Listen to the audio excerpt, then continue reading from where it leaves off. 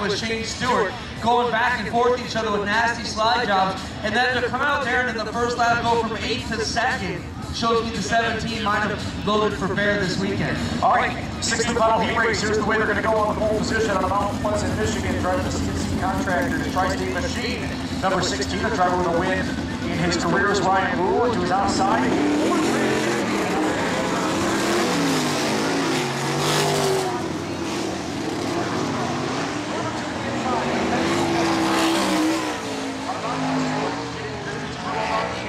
5B is Justin Barker, and going away to his outside, of the Sprakers New York, and the Corpac Merchandising Hills Racing 1Z, JZ, Jessica Zemken.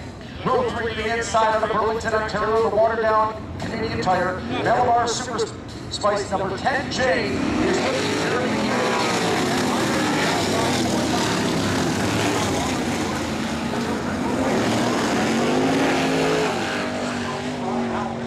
Fourth and final roll goes like this. Of Simcoe, Ontario, Gales Auto Aftermarket Auto Sales 21J is John Burton Sr. and rounding out the field, second year sprint competitor out of Bedford is Shane Ross. Eight cars, 10 laps to go.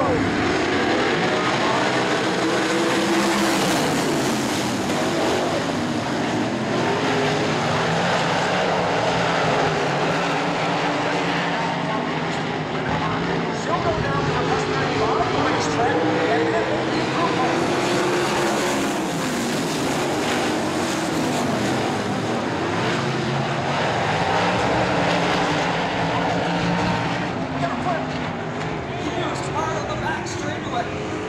Red flag is out. Jeremy Hughes in the 10J got loose coming out of turn number two.